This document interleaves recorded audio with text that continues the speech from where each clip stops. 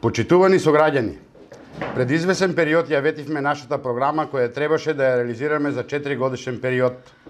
Пристапувајќи со голема транспарентност, отчетност и реализација на сите проекти кои всушност беа ваши предлози и наша заложба тие да бидат реализирани веќе се на повидок. Нашата заложба за решавање на сите проблеми, реализација на сите тие проекти во функција на подобрување на квалитетот на живење во руралните средини Општина Василево во соработка со владата на Република Македонија успеа да реализира голем број на проекти. Во текот на вчерашниот ден во просториите на Агенцијата за финансиска подршка беа подпишани договори за реализација на уште проекти на територијата на општина Василево, а сите тие во функција на подобрување на квалитетот на живење. Беа подпишани договорите за имплементација на следните проекти регулација на сушевски парој во село Сушево и дел од фекална канализација за населено место Владевци во вредност од 21 милион и 300 илјади денари.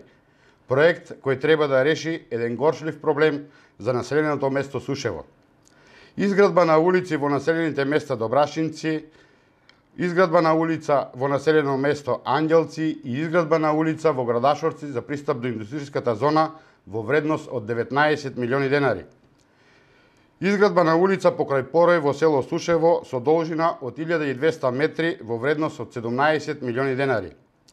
Ако на тоа додадем и проектите кои се аплицирани преку југоисточниот плански регион, а се прифатливи за реализација, изработката на урбанистички планови за населените места Владевци, Ангелци и Градашорци и проектот за реконструкција на културниот дом во Нова Мала во вредност од околу 11 милиони денари, Вкупната вредност на проектите кои треба да бидат реализирани во општина Василево изнесува 68 милиони денари.